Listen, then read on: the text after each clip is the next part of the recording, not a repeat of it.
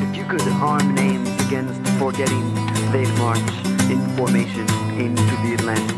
And later, trying to list but one of them, you'd recall only the blue half mile of helmets